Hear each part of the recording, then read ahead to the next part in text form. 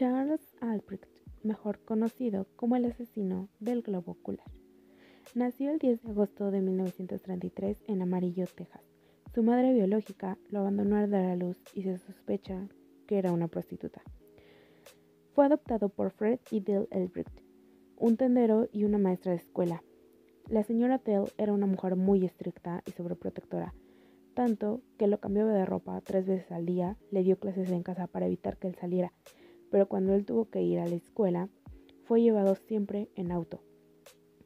Cuando Charles infringía alguna norma de la casa, era atado a la cama.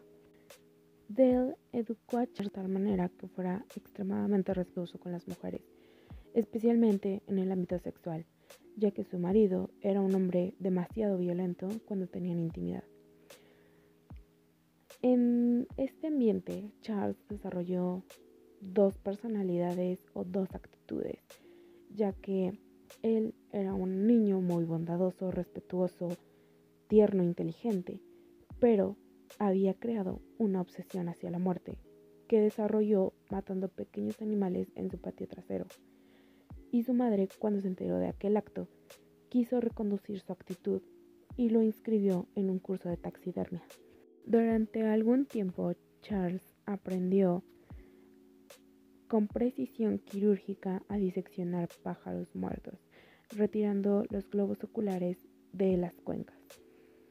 Una vez que hacía esto, colocaba botones o globos oculares reales disecados, comprados en diversas tiendas. Charles quedó tan, pero tan fascinado con esta práctica que se dedicó a coleccionar los ojos más bonitos para su obra como taxidermista. Pese a los esfuerzos de su padre en inscribirlo en diversas clases como francés, pintura, piano, poesía y demás, Charles fue detenido por robar tres tiendas y fue enviado a prisión durante algunos meses. Salió en 1952 y matriculó para la Universidad de Arkansas para estudiar anatomía ya que quería ser un cirujano. Durante algún tiempo Charles aparentó tener una vida normal, ya que tenía buenas calificaciones e inclusive se consiguió una novia. Pero tras el rompimiento de esta, él realizó una broma espeluznante al recortar los ojos de su novia de las fotografías y esparcirlas por toda la universidad. Esto llamó la atención de todos y poco tiempo después descubrieron que Charles había estado robando algunos artículos de las instalaciones de la escuela, por lo cual fue expulsado. Un día, mientras su madre limpiaba su habitación, encontró estas fotografías de su exnovia y también encontró muchísimas otras fotografías de diversos ojos recortados o ojos sobrepuestos en algunas otras fotos. Cuando Charles cumplió 20 años, se casó con Betty Hester, era una maestra. Tuvieron una hija y prontamente se mudaron a una pequeña ciudad del este de Dallas. Consiguió un empleo como profesor de biología en la Universidad Estatal, pero la universidad logró darse cuenta de que estos eran documentos falsos, por lo cual Albrecht terminó en prisión por fraude. Poco tiempo después, regresaron a su antiguo barrio y la pareja se vio envuelta en muchos problemas ya que Charles no conservaba ningún trabajo más de tres meses.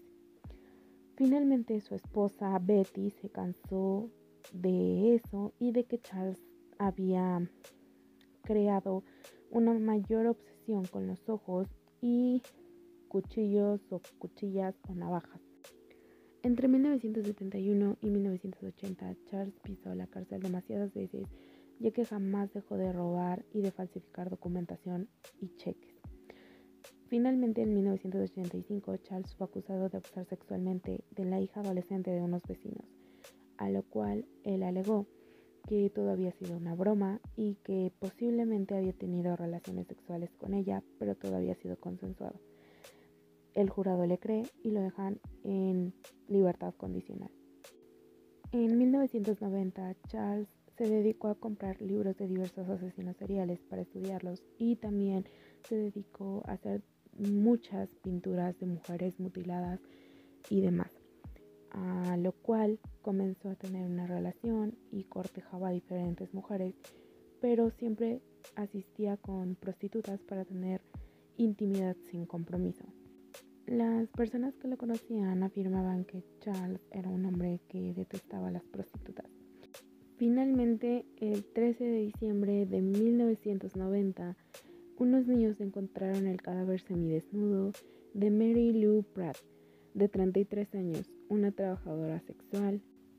La policía pensó que había sido un desajuste de cuentas con algún cliente y fue llevada al servicio forense. Una vez allí se estableció que el cuerpo de Mary Lou había sido violado, golpeado en la cabeza y había recibido un disparo en la nuca. Pero también se registró que el cuerpo de Mary Lou le hacía falta los globos oculares, los cuales habían sido mutilados y retirados de una manera muy precisa, ya que no tenía lesiones alrededor de las cuencas. Aquello solamente estableció que no sería el único cuerpo que se encontraría de esta manera y que la policía tenía una pista. El autor tenía una gran maestría con el uso del bisturí, así que pensó que posiblemente se podría tratar de un cirujano. A lo cual la policía pidió que no se dieran demasiados detalles, ni mucho menos, ya que podría ser un asesino en serie que se esperaba dejara más pistas. El 10 de febrero de 1991, la policía encontró el cuerpo semidesnudo de Susan Peterson, de 27 años, una prostituta que había sido violada, golpeada y había recibido disparos en la cabeza, el estómago y el pecho. El cuerpo fue hallado en la misma carretera donde encontraron a Mary, solamente que a un par de calles. De igual manera, sus ojos habían sido extraídos, por lo cual la teoría de un asesino en serie que conservaba los ojos de sus víctimas para una posible satisfacción sexual o recuerdo de sus actos se hacía más concreta. Pese a los esfuerzos de la policía en evitar que alguna información fuera filtrada, los medios comenzaron a hablar sobre un asesino de Dallas, quien mutilaba a sus víctimas. El 19 de marzo de 1991, unos chicos encontraron el cuerpo semidesnudo de Sherry Williams, que se encontraba bajo un árbol frente a un colegio. Sherry Williams era una prostituta, pero a diferencia de Susan y Mary Lou, era una prostituta de raza negra, lo cual llamó la atención de los investigadores, ya que asesinos en serie no suelen cambiar este tipo de aspectos. El cuerpo de Sherry había sido golpeado brutalmente, había sido violada y al igual que los casos anteriores también había recibido disparos, uno en la cabeza y otro un poco más arriba de la nuca. De igual manera le habían retirado los globos oculares, pero a diferencia de los otros casos, el victimario se había vuelto más agresivo, ya que había dejado diversas laceraciones tanto en los párpados como en diversas partes del rostro, de esta manera, la policía buscó la relación entre los casos e hicieron el perfil del victimario, que lo definía como un hombre de raza blanca, de edad media, que tenía muchísimo conocimiento en anatomía, en especial de los ojos, y que posiblemente ya había asesinado anteriormente. De igual manera, la policía encontró un vello púbico en el cuello de Sheldry, pero solamente pensaron que era algo circunstancial. Los investigadores volvieron a hacer diversas entrevistas a las trabajadoras sexuales y todas coincidían en haber escapado de un violento asalto. Las mujeres describieron al atacante como un hombre blanco de complexión fuerte, pelo cano y por lo general vestía pantalón y camisa vaquera conducía una camioneta. Una de las mujeres que habían logrado escapar del asaltante brindó datos, entre ellos una dirección de domicilio que entablaba como dueño a Fred Albrecht, quien a su vez tenía otra propiedad donde habían sido los dos primeros asesinatos. Y descubrieron que Fred ya había muerto y quien había heredado las propiedades había sido Charles. De igual manera, un policía recordó que meses antes una amiga de Mary había asegurado haber salido con un hombre, el cual estaba obsesionado con los ojos y tenía una colección muy grande de cuchillos en su casa.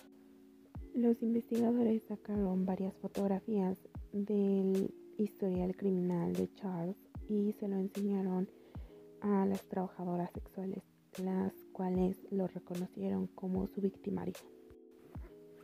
El 22 de marzo de 1991, la policía arribó a la casa de Charles.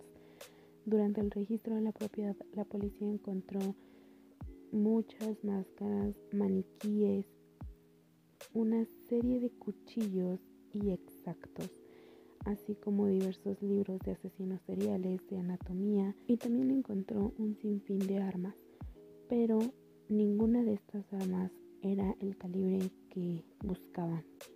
Desgraciadamente la policía tampoco pudo encontrar los globos oculares mutilados de las víctimas anteriores, pero todo esto cambió cuando la policía se puso a revisar la camioneta de Charles y encontraron diferentes fibras de posible cabello y después procedieron a revisar la aspiradora que Charles utilizaba para mantener aseada su camioneta donde encontraron en concreto el cabello de las víctimas. Sin embargo, como era una persona pues demasiado amigable, muchos vecinos aseguraban que otra persona que vivía cerca de, de ahí era el asesino. Finalmente esto terminó de comprobarse cuando analizaron el ADN de Charles con el vello púbico encontrado en el cuerpo de Charlene. Finalmente, el 18 de diciembre de 1991, Charles fue encontrado culpable por el asesinato de Shirley Williams, ya que durante el juicio nunca se pudo comprobar que él realmente hubiera matado a Mary Pratt ni a Susan Patterson, e incluso su abogado alegó que Charles había enjuiciado injustamente. Fue condenado a cadena perpetua y se le recluyó en la unidad psiquiátrica John Montford de Lubbock, Texas. Inclusive el mismo Charles ha afirmado que todo lo que le han impuesto ha sido total y completamente injusto, ya que él es un hombre inocente y dice él jamás haber tocado ningún globo ocular. Durante el tiempo que ha estado recluido, se la ha pasado dibujando diversos ojos en su celda y ha evitado hablar con las personas que llegan a preguntarle acerca de los crímenes que ha cometido. Sin embargo, Charles tiene algunos libros donde habla sobre cómo desprender el globo ocular sin dañarlo. De igual manera, se ha negado rotundamente a hablar acerca sobre qué pasó con los globos oculares de sus víctimas, ya que estos jamás fueron encontrados. Es uno de los asesinos seriales con menos víctimas y constantemente ha pedido que hagan una revisión para una libertad condicional, pero esta fue rechazada en junio del 2018. También se le informó que sería otra revisión para una posible libertad condicional en junio del 2022. Desgraciadamente, Charles Albrecht falleció el 22 de agosto del 2020 a causas naturales. Ahora quiero dejarles esto porque quiero disculparme con ustedes por no haber subido video antes, pero se me complicaron algunas cosas, tuve algunos familiares con COVID y también estaba en evaluaciones finales, así es que tenía que entregar trabajos, proyectos, exámenes y demás. Y bueno, Espero que les haya gustado tanto como a mí me gustó hacer esto. Em, voy a seguir haciendo más sobre asesinos seriales y también sobre diferentes dioses. También visiten mi TikTok porque en TikTok voy a estar subiendo videos de criaturas mitológicas, los cuales van a estar más pequeños que los storytime de asesinos seriales y dioses. Bye, los veo en el siguiente video. Sin más por el momento, te invito a que te suscribas, a que actives la campanita de notificaciones, dejes un like si te gustó y un comentario por si tienes alguna duda. Si eres una persona amante de los apuntes bonitos, caligrafía, encuadernación, bullet journal, manualidades, plumones, lettering y demás, te aseguro que llegaste a tu canal. Gracias.